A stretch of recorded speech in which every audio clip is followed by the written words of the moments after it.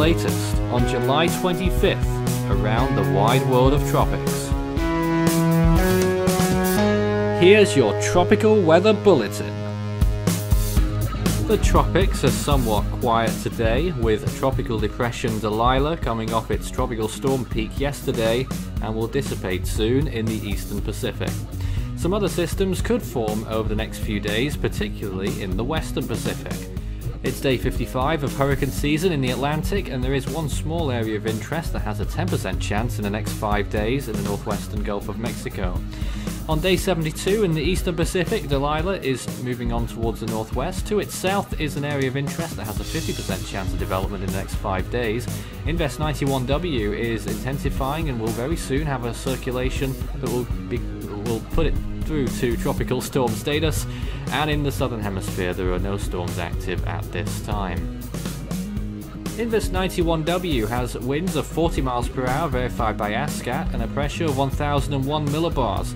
It just needs to consolidate the circulation before it becomes a named storm. It's 229 miles from North Iwo Jima, Japan, 25.9 north, 137.6 degrees east. Over the next few days, we expect it to become a tropical storm, reaching the end of the week into the weekend. It will then go on to affect Japan, uh, possibly as a tropical storm, maybe a strong tropical storm even, if the HWRF is correct, and then sweeping through, moving on towards the northeast. Most likely to remain fairly weak, and it will certainly be weakening when it does make landfall if it does.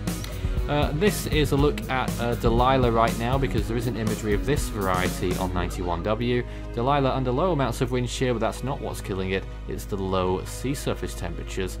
Um, by the looks of things, uh, the convection is just really dying off, still blowing up a little bit to the east. Let's take a look at the wide views then. The Atlantic looking like this. You can see that frontal system in the Gulf moving through Florida along the east coast of the US. In the uh, deep tropics, not much really going on at all. Uh, one or two little waves pushing through, but uh, still at low latitude. And Saharan dust is very much dominating the eastern Atlantic. The Gulf of Mexico are close up here, some thunderstorms blowing up over the Yucatan, Cuba, and also um, maybe one or two thundery showers in Florida too.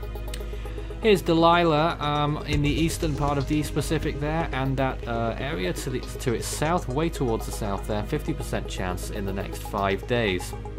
Further west, there is still a rather complex little system there that's just northwest of Hawaii.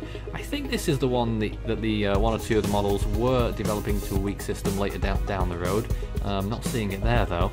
The Western Pacific, here's 91W. Um, very close to acquiring that center of circulation. It's still too elongated to call it a tropical cyclone right now and it may still be attached to that other feature further south. Uh, but the Western Pacific as a whole is getting a little bit busier as you can see, a lot of convective thunderstorms but no other invests. The Australia and South Pacific region uh, has also been flaring up a little bit actually near the Solomon Islands, um, but really nothing that is uh, reminiscent of a tropical storm. The Indian Ocean, some uh, heavier rains occurring over India today, uh, monsoon in nature of course, and no tropical cyclones on the horizon.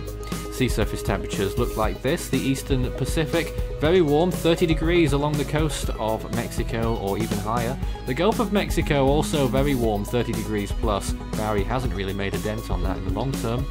The uh, Sargasso Sea, the western Atlantic, very warm, 30 degrees in one or two little pockets. The Arabian Sea, quite cool actually, uh, except along the coast of India and on either side of India, temperatures of 30 degrees Celsius. Same too in the uh, Gulf of Tonkin, extending into the South China Sea now. That 30 degree gradient is continuing to expand in the region, and that will continue for a little while yet. Here's a close-up of Invest 91W. You look towards the uh, top there is where the low-level circulation appears to be developing, but uh, you can definitely see the rotation extending a little bit further south, so uh, I still think the circulation is too broad, but it is getting very close to becoming a nameable cyclone, given that it does have 40 mile an hour winds. Tropical Depression Dalila looking fairly weak here and dying off. We just threw this imagery in as well for your entertainment, I suppose, as it slowly uh, twirls towards the northwest. Not much going on with that right now, and of course, no threat to land. So the next name on the Atlantic naming list is Chantal. We were so close to getting it uh, earlier this week. Didn't happen, we had 3L instead. The East Pacific, the next name on the list is Erick. In the Central Pacific, we're looking out for Akoni.